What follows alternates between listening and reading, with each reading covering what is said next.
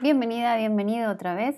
En este video lo que vamos a ver es cómo transformar nuestras imágenes. Vamos a suponer que queremos armar una composición con estos tres vasos de café y algunos más que vamos a agregar aquí. Entonces voy a ir a este último vaso de café, voy a dar control J y con la herramienta mover lo voy a poner aquí atrás.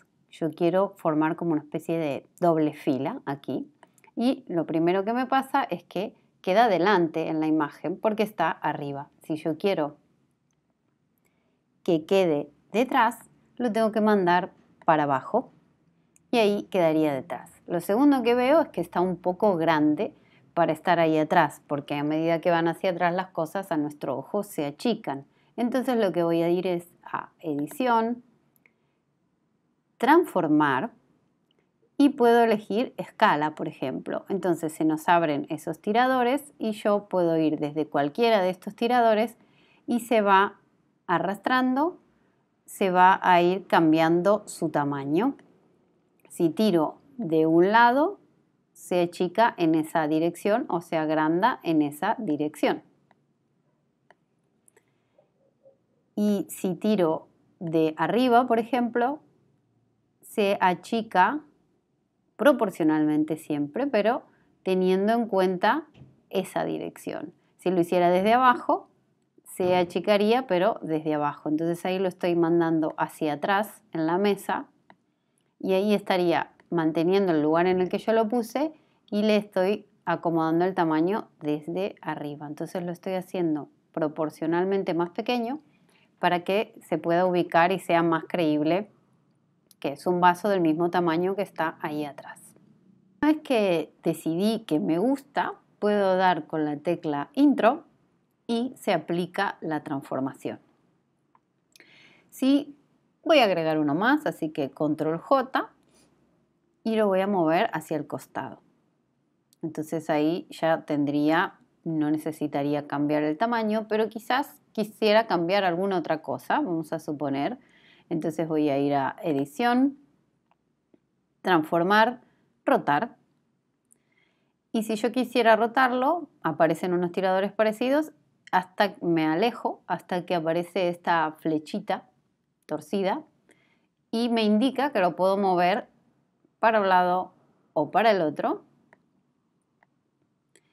Y en el medio vemos que tiene un eje sobre el que está girando, ¿no? Entonces yo puedo agarrar este eje y hacer clic y arrastrarlo a uno de los puntos. Entonces ahora va a empezar a rotar basándose en ese eje. Lo mismo podría pasar si lo pongo abajo. Entonces ahora nos queda como punto fijo eso esa base y si no, a los lados también es posible hacerlo girar en función del punto de eje que nosotros le ponemos.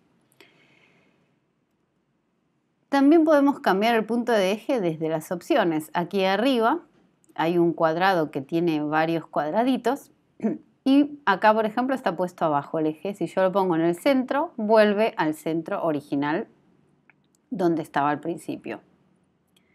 Ahí estaba un poco torcido, así que lo puedo acomodar ahí un poquito mejor. Muy bien. Y lo voy a dejar ahí. Voy a elegir esta.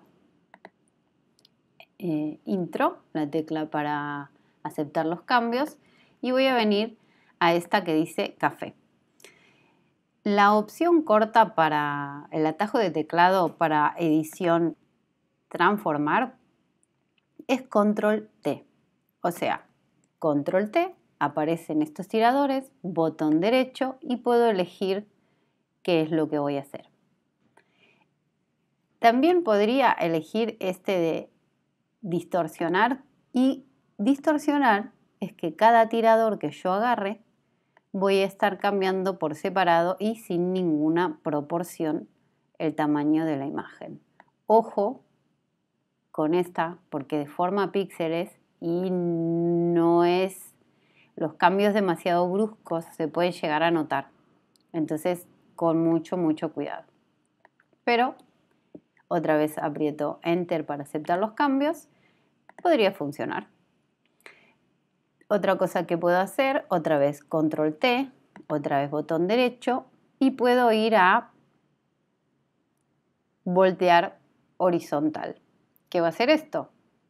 Voltear la imagen de manera horizontal.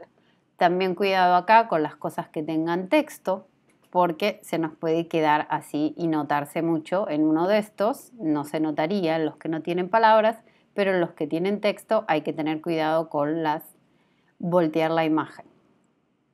Vuelvo a dar control T, vuelvo a dar botón derecho y puedo hacer también voltear vertical.